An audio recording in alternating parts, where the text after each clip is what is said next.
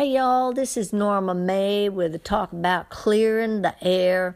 You ever had something come between you and a friend or someone you hired, or maybe even a family member or a boss? Well, let me tell you, if you've ever been outside after a rainstorm, you'll notice the air is clear and the sky is clear too, and you can see a lot further.